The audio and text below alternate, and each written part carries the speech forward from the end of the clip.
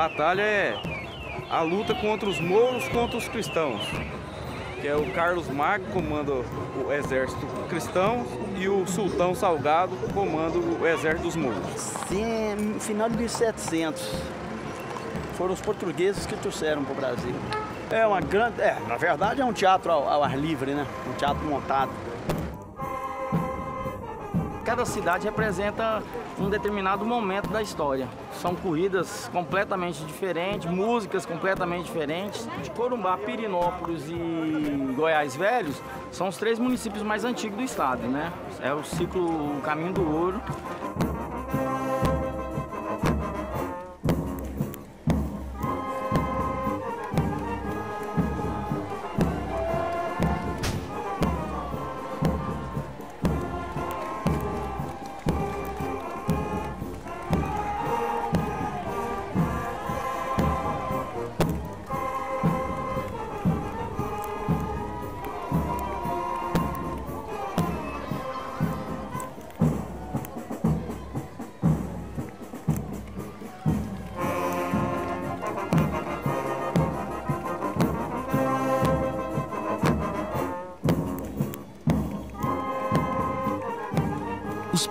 Pioneiros que ocuparam o Planalto Central nos últimos três séculos trouxeram sua cultura e tradições. Hoje são joias do patrimônio imemorial do Cerrado. As cavalhadas atravessaram o mar e em Pirenópolis e Corumbá de Goiás ganharam um toque local. A Folia dos Mascarados, que representa o povo na festa. No final, os cristãos sempre vencem os mouros.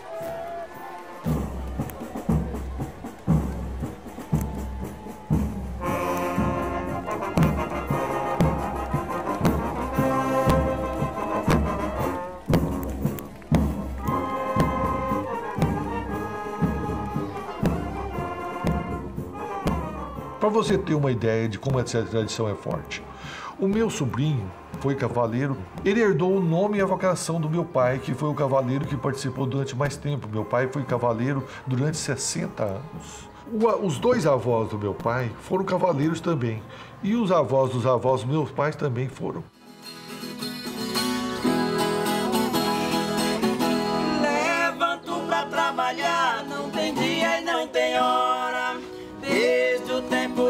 Criança eu nunca fui na escola.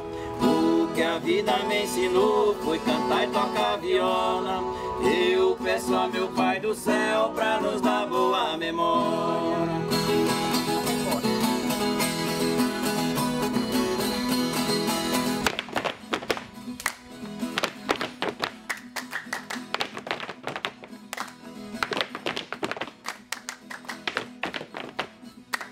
É, a catira é uma manifestação cultural do folclore brasileiro. Mais de 100 anos que é, é permanente essa manifestação é, na cidade de Lusiânia. É, as músicas é, trabalhadas para, para a dança do catira, elas têm uma manifestação cultural muito forte, principalmente da zona rural. É, também fala também de, de romance, fala de desilusão, né? Então tem todo esse contexto é, também histórico e artístico. É relevante, é a própria identidade do povo, né? É, que é manifestada através é, da dança e as expressões culturais. Está preservando a cultura local e a cultura do Brasil. Eu fui nascido na roça e criado na cidade. Pra fazer moda de viola eu tenho facilidade.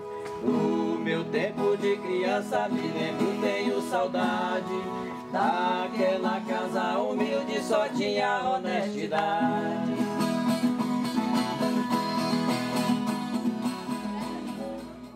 Então, Pirinópolis tem uma história no campo da música é, e a gente quer dar continuidade. A representação é a nossa riqueza maior, que é a nossa cultura, que são as nossas tradições, que é o nosso povo, a nossa arte. Somos um povo é, artista, né? Um povo de arte que sobrevive da arte e que combina com toda a beleza de Pirinópolis.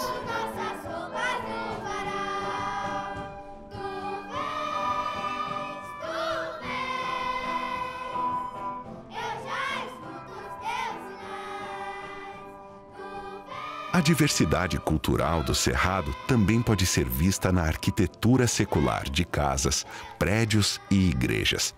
Pirenópolis ainda preserva esse raro patrimônio arquitetônico, memória viva da evolução dessas cidades pioneiras.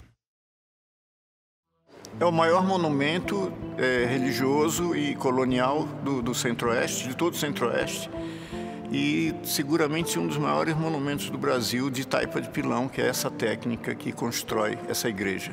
Ela é de uma imponência que a gente, a gente nem consegue avaliar direito o quão hercúleo que é fazer um trabalho desse tamanho há quase 300 anos atrás.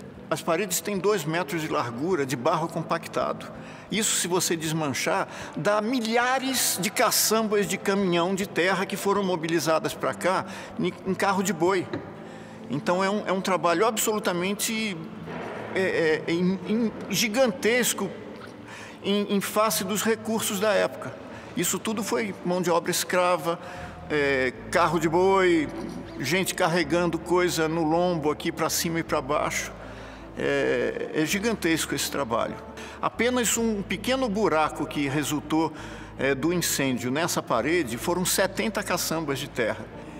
Um dos maiores desafios da restauração dessa igreja era o que a gente faria no lugar do altar-mor. E, para nossa sorte, a cidade tinha guardado o altar-mor da igreja Nossa Senhora de Rosário dos Pretos, que foi demolida por volta dos anos 30.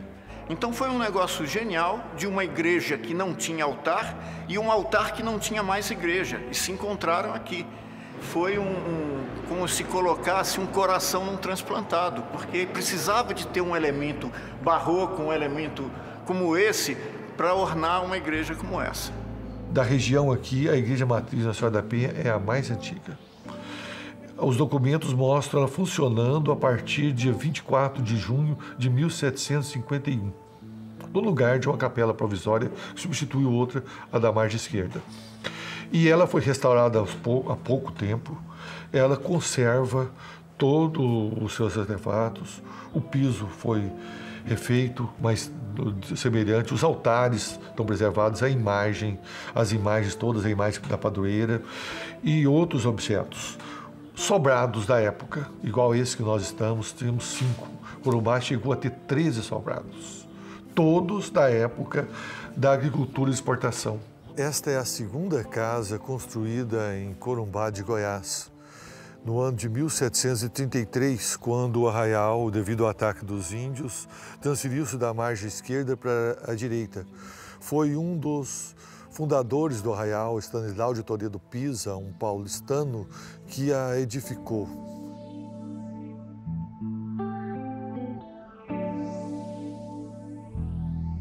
As técnicas de barro são basicamente três. É a taipa de pilão, que é a mais grandiosa delas, que, que serve para grandes paredes, o pau a pique e o adobe. E as três técnicas se complementam. É, esse é um muro secular e ele testemunha uma época ainda que não há cimento, as pedras eram todas assentadas com barro e o próprio adobe, que é feito de barro, também era, era assentado no barro. A taipa é a mais grossa das, das paredes. Depois é o adobe e, por fim, a pau a pique, que consegue paredes de até 15 centímetros. Né? Mas esse é um muro de quase 300 anos. Por isso, tanto, tanto cuidado também que o patrimônio tem em preservar esses monumentos. E, afinal de contas, são eles que contam nossa história. Se a gente não tiver o que, como, como reconhecer o passado, a gente não, não se lança para frente. Dentro do Distrito Federal existem construções do século XIX que resistem ao tempo. Em Planaltina, a região administrativa mais antiga da capital, elas são cuidadas pela Associação Amigos do Centro Histórico. Essa é a igrejinha São Sebastião. É, aqui foi é, o núcleo é, formador do então Arraial de São Sebastião de Mestre d'Armas, que hoje é Planaltina. É o núcleo formador, onde tudo começou através de uma doação desse terreno para que fosse feito novenas por causa de uma epidemia que teve naquela época, por volta de 1810, 11, houve a necessidade de que fosse se é, colocando casinhas, né, pra, até para melhorar a logística dessa novena, novena que foi crescendo com o tempo. formou o Arraial de São Sebastião de Mestre d'Armas. E aqui não era o lugar de passagem, era um lugarzinho que já existia, que tomou nome através desse eh, armeiro, ou mestre das armas, mestre d'armas, rio mestre d'armas. Arraial de São Sebastião de Mestre d'Armas.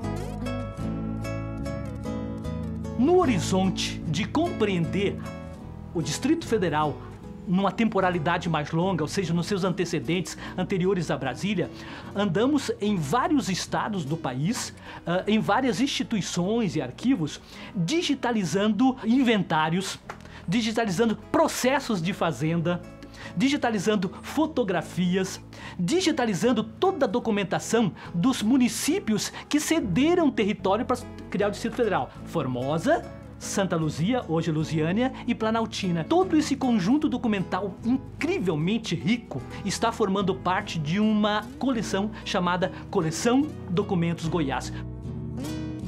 Por exemplo, Planaltina surge com uma metodologia da criação do patrimônio de santo um grupo de fazendeiros doa para a igreja algumas hectares de terra, coloca uma capelinha ali no centro, essa capelinha começa a aglutinar pequenas vendas, comércio. A igreja, que era dona da propriedade, aluga, a gente chama de foramento, aluga algumas propriedades, essas propriedades vão aglutinando ao redor da capela e surge a cidade.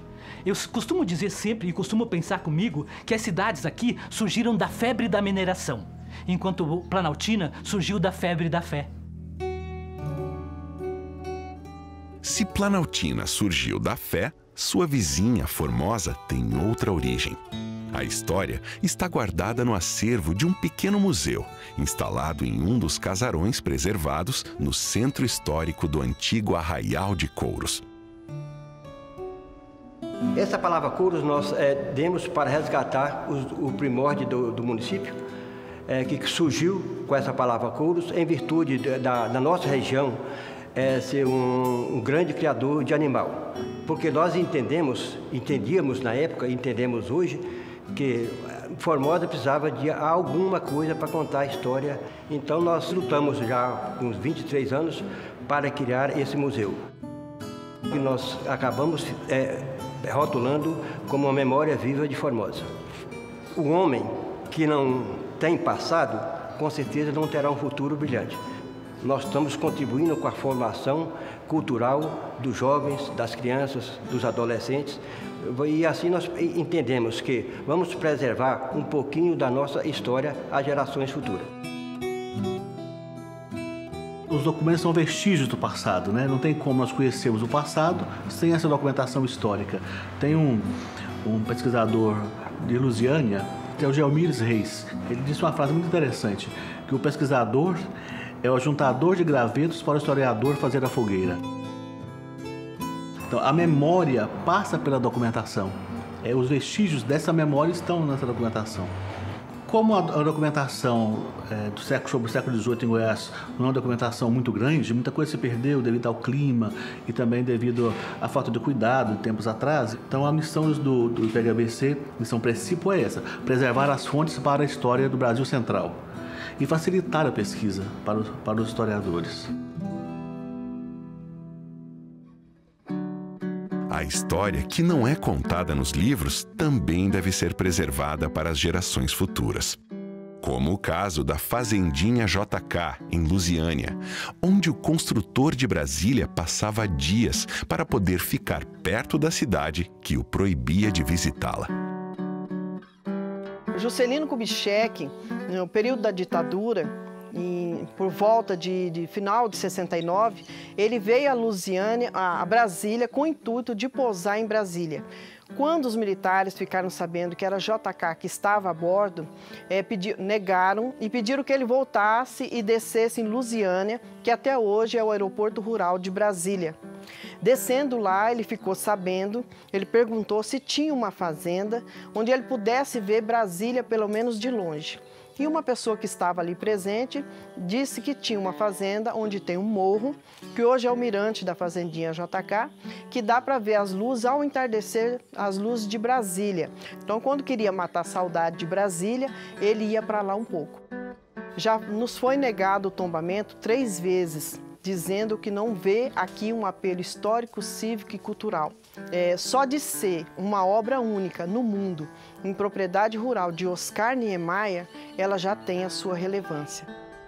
É de poder passar para as nossas crianças, para o nosso jovem, a importância de se estudar história, que tudo na nossa vida é história. Então, todos que vêm à Fazendinha sai com essa consciência de, da importância de preservar, de se cuidar da história.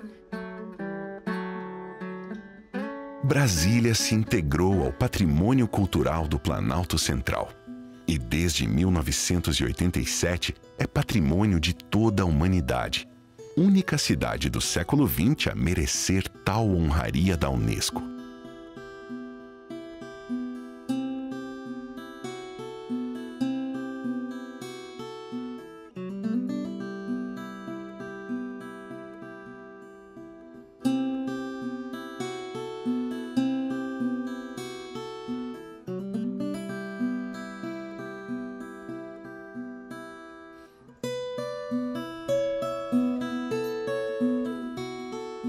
O cerrado é casa, abrigo, caixa d'água que abastece as grandes bacias hidrográficas do continente.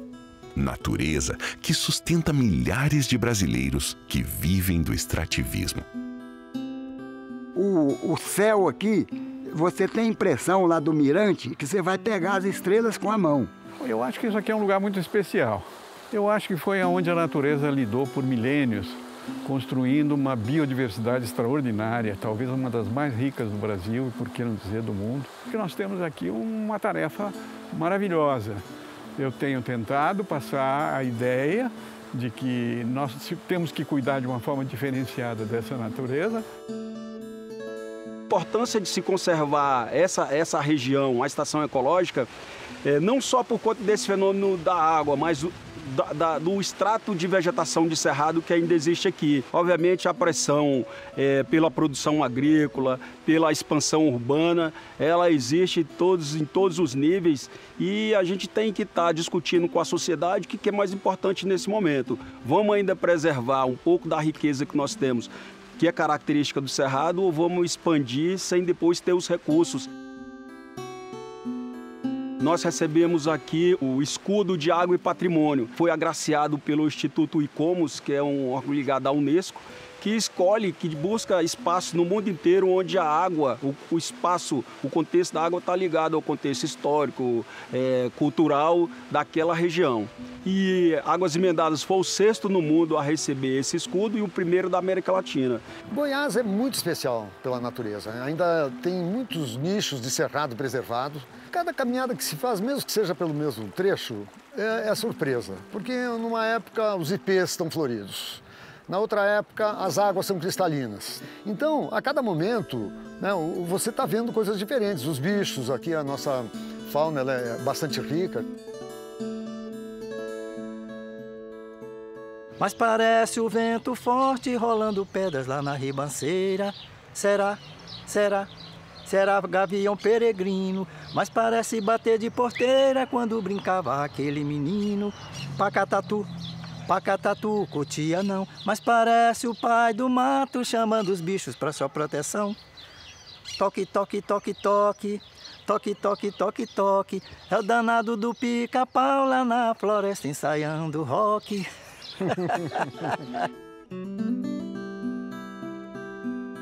A gente teria que conseguir preservar as matas de galeria, que são as áreas de APP, área de preservação permanente, segundo o Código Florestal.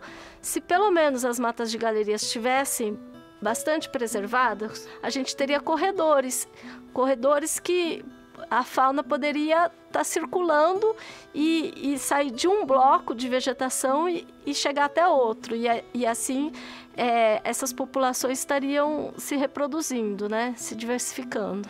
Nós temos que ampliar o esforço de conservação, que deve se levar em conta a, a necessidade de criar mais unidades de conservação, por um lado, deve-se uh, também reforçar a, as terras indígenas que contribuem para a conservação, os territórios quilombolas.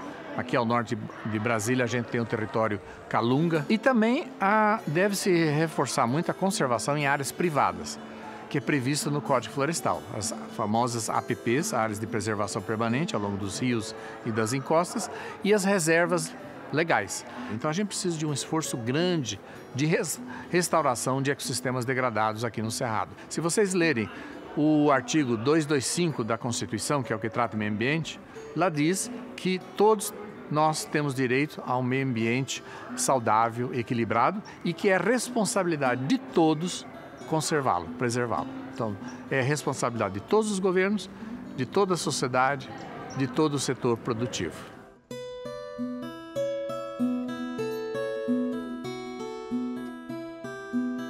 Preservar o cerrado é fundamental para o país. Há milhares de anos, civilizações criaram uma cultura especial e conviveram em harmonia com a natureza.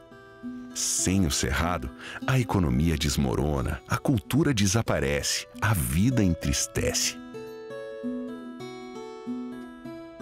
O velho cerrado e a jovem Brasília são dois tesouros que todo brasileiro deve preservar.